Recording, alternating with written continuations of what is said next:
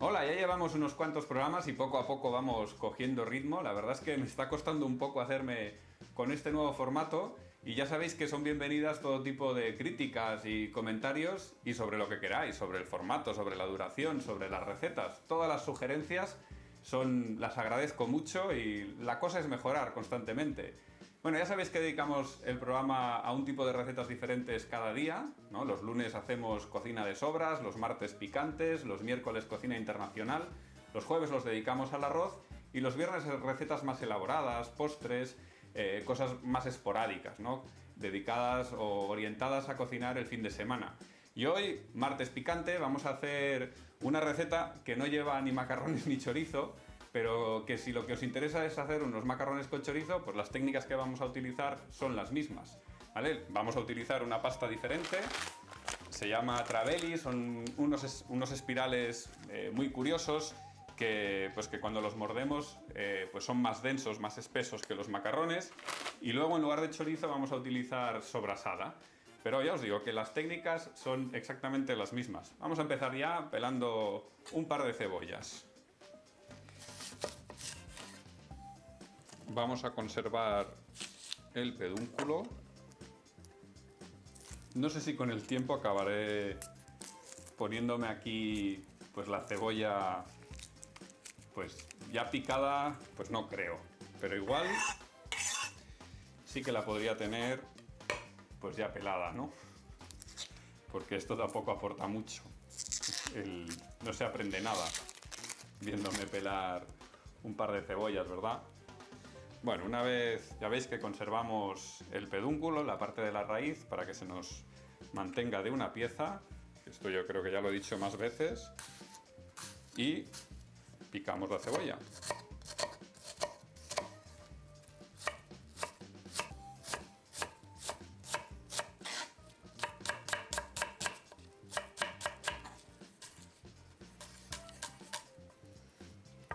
Veis que nos interesa bien picadita.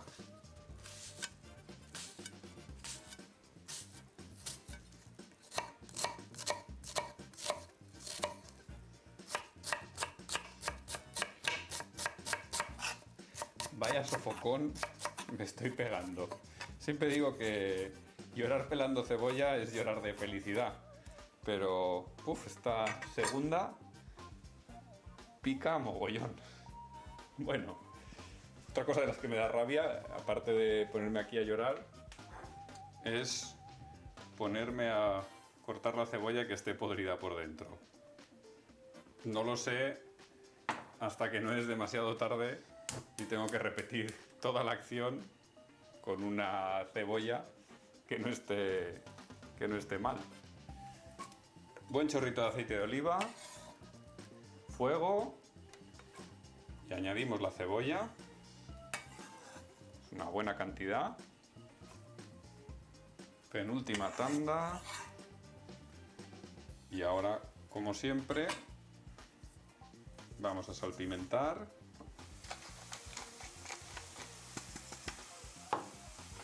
Y ahora, como siempre, un buen meneo. Vamos a por el ajo. Casi siempre lo ordeno de la misma manera.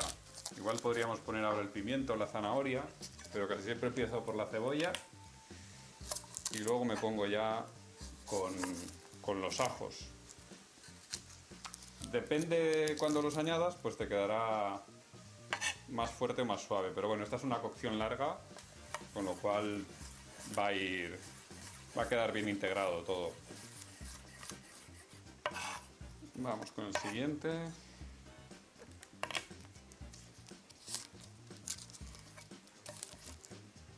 Y esto van a ser cuatro dientes de ajo cortados en láminas finas.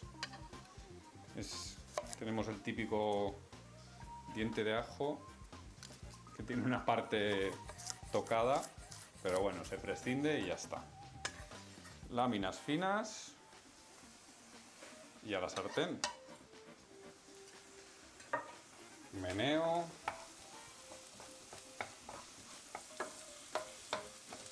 todo bien distribuido. No lo voy a conseguir siempre, pero voy a procurar que las recetas de los martes picantes sean versionables sin picar. Vamos ahora a rallar la zanahoria que tengo aquí pelada y limpia. Y lo que os digo, procuraré que dar instrucciones por si no queréis la receta picante. En esta ocasión es muy sencillo, vamos a poner un par de guindillas frescas. Si queréis esta receta sin que pique, pues no las ponéis.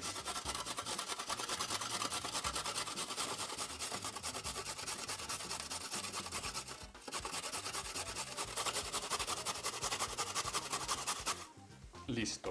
El motivo por el que rayo la zanahoria y en cambio pico los ajos, la cebolla y el pimiento es muy sencillo.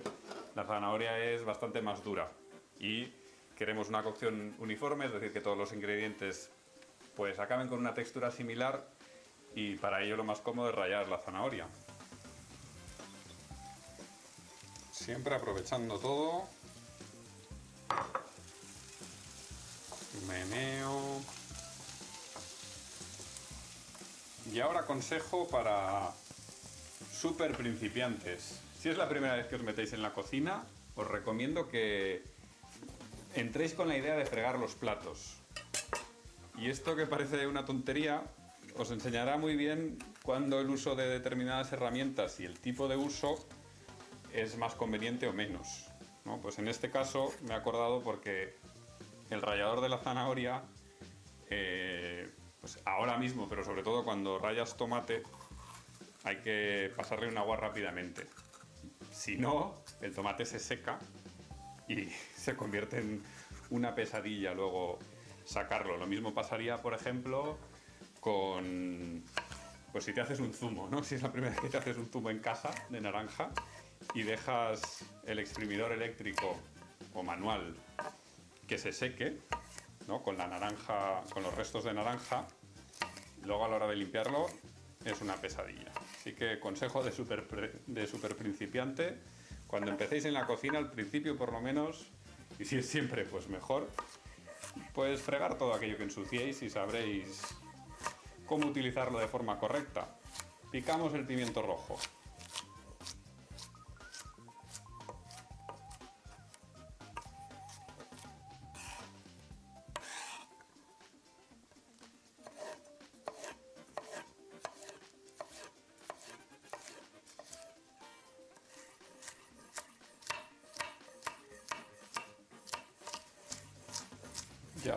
Hacemos en cubos pequeños y una vez picado al fuego.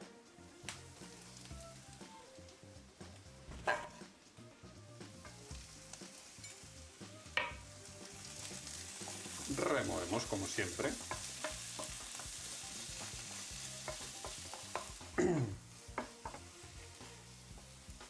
Había empezado el día en plan valiente con la idea de añadir un par de guindillas, pero creo que me voy a cortar y voy a añadir solo una, que el otro día me dio un resultado demasiado, demasiado fuerte.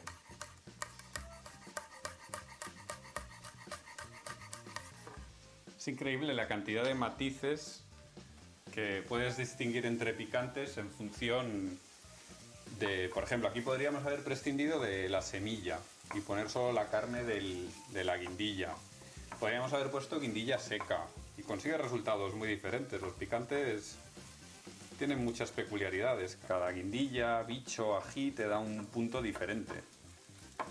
Creo que es buen momento para poner ya el agua a hervir.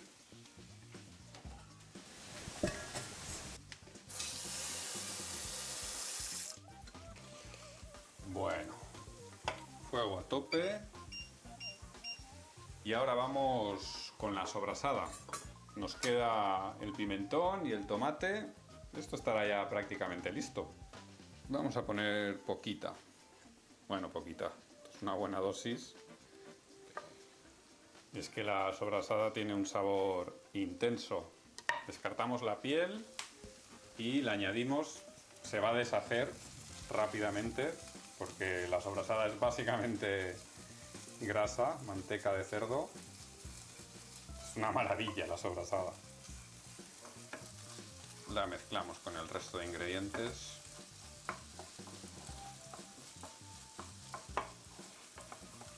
Ya está bien integrada. Y ahora vamos a añadir el pimentón dulce, no vamos a poner picante porque entonces ya sería la bomba. Lo que vamos a hacer es tostarlo un par de minutos. Hacemos un hueco en el centro, lo añadimos y lo tostamos un par de minutos en el centro de la paella, en el hueco que hemos hecho de los ingredientes y finalmente ya lo mezclamos todo. Qué olores, ¿eh? Ahumado, tostado. Y antes de añadir el tomate rallado vamos a incorporar una copita de vino tinto, no mucho, ¿eh?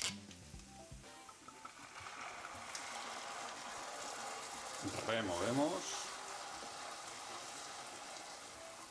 Y mientras se seca, ya sabéis que cada vez que añadimos vino o porto, vino de mesa, cualquier bebida que lleve alcohol que dan un sabor muy rico, debemos asegurarnos de que se evapora todo el alcohol y que nos queda otra vez una salsa líquida. Vamos a rallar el tomate, recuperamos el rallador y tengo aquí tres super tomates maduros, ya sabéis, en función del tamaño ponéis más o menos, pero una buena cantidad de tomate.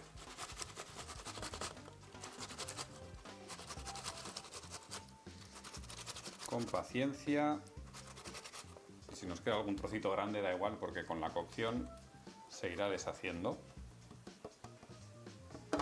Y esto al fuego.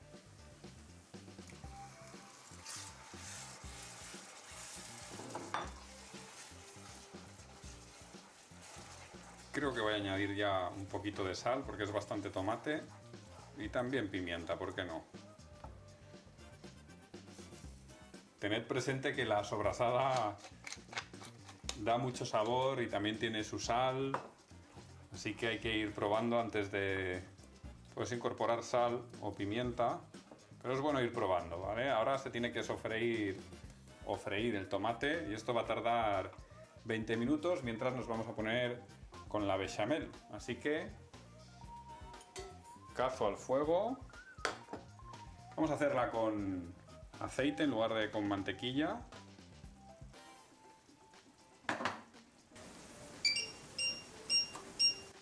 Y ahora vamos a tostar la harina. Ya sabéis, hay que buscar un, un punto, no mucha, una cucharada sopera no rasa, pero casi. La añadimos. Espera, voy a coger una pala que no sea la de el sofrito y la vamos a tostar. Yo creo que dos minutos o así.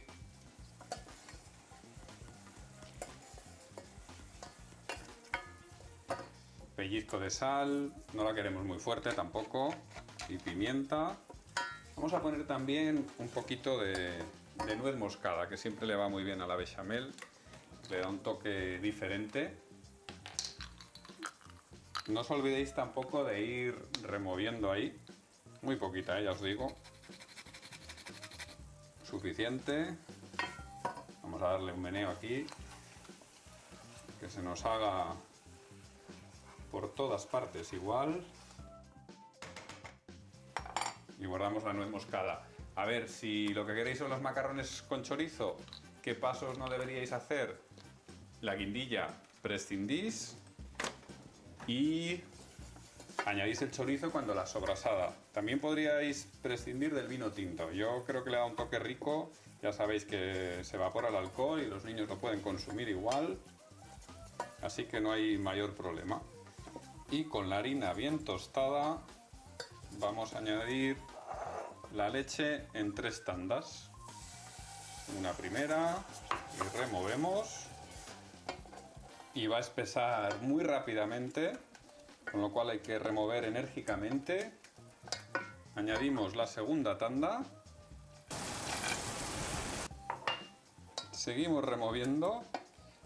Yo creo que es momento de pasarse a las varillas. Y así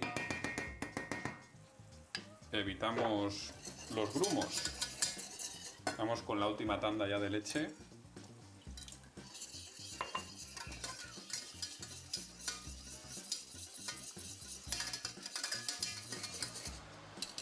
Y esto no olvidéis que se tiene que cocinar, que la bechamel tiene harina cruda y luego con el gratinado, que es el último paso que vamos a dar, eh, probablemente no, no le demos suficiente tiempo a la harina como para que se cocine.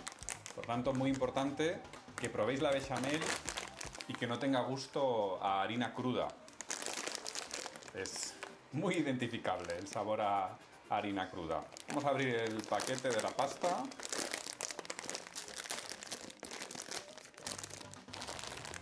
Tenemos abundante agua hirviendo.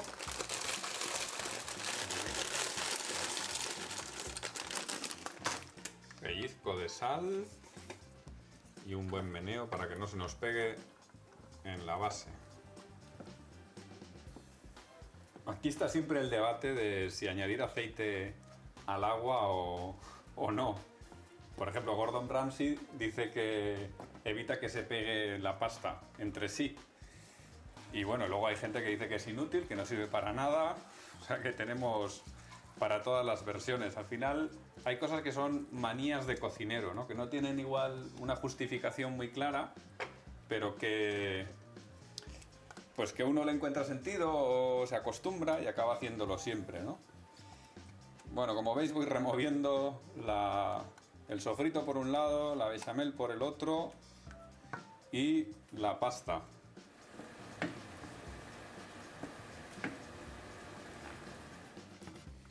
Como está previsto un poco de horno, yo creo que la voy a dejar así al dente y la voy a volcar sobre, sobre el sofrito sin escurrirla con...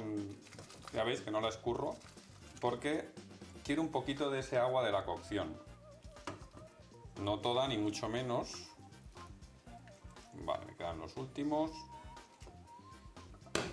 Y ahora vamos a darle un buen meneo.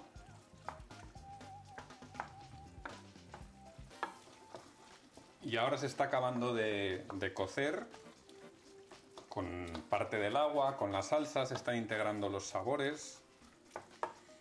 Y yo creo que esto ya...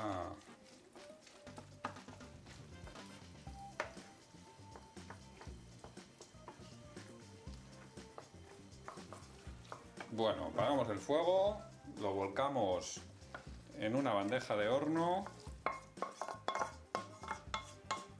Vapores que me nublan las gafas y luego no veo.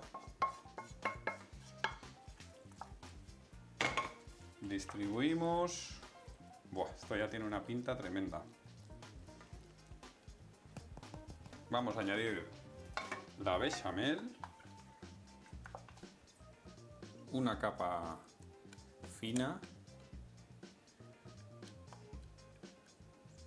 Con el calor ya se distribuirá bien. Aprovechamos bien. Y ahora la repartimos. Esto ya casi está. Y por último, el queso. Buena dosis. Con paciencia.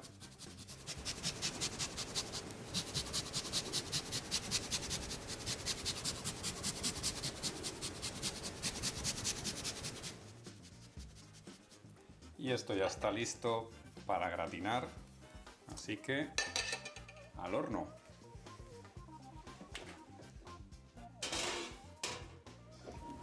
Y vamos con el grill. Y esto está rápido, así que hay que estar atentos que no se nos queme. Nos preparamos para servirlo y vamos a ello.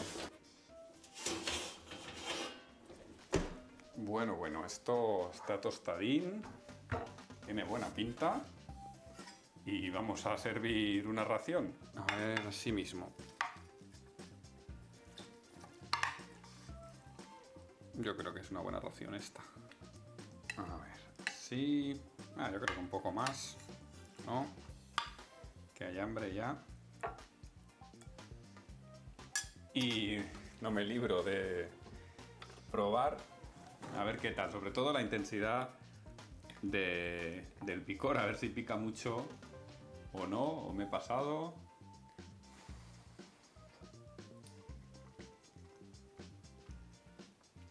No pica mucho. Está rico, está... Es buena idea esta receta.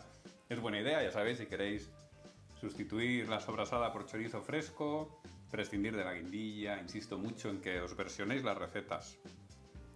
Bueno, de martes picante a miércoles internacional. Hasta mañana.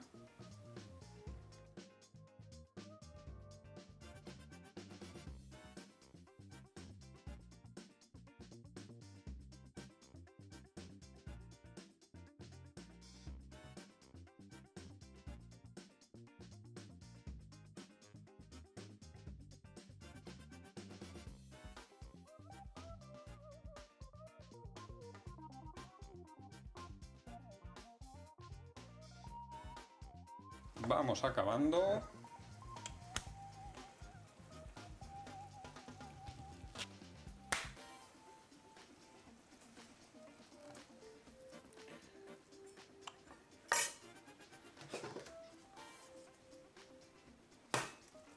Pimienta. Tened en cuenta que la sobrasada es un... Bueno, tanto la sobrasada como el chorizo, un, un